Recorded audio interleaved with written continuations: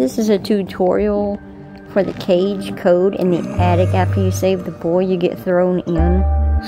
And it's a it's a crazy puzzle, but I'm about to let you in on a few secrets.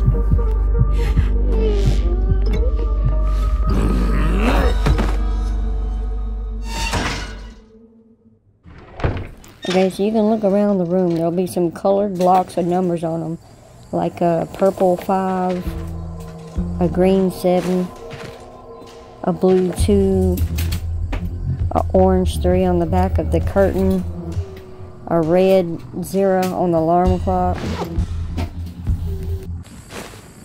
So take the scissors on the nightstand and go to the cage lock and you're going to clip off the cobwebs like it's really been that long since he threw you in. This is the tricky part. You're on the opposite side of where the number counts. so walkthroughs and everything that I looked up did not help me at all.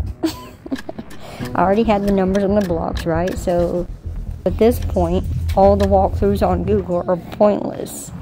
So I was thinking about how many times you have to turn a number for it to get to the other side.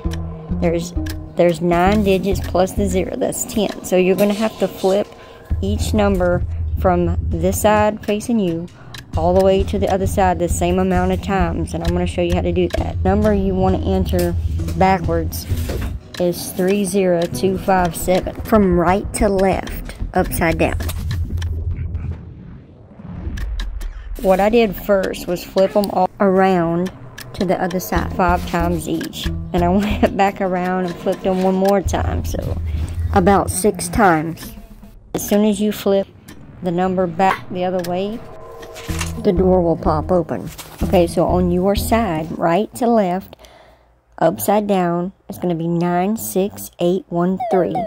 From left to right, upside down, is 31869. If you have trouble with the last two, the red and the orange, since it's 9 and 6 and they're upside down, then just look at the last two as a 9 6 right side up.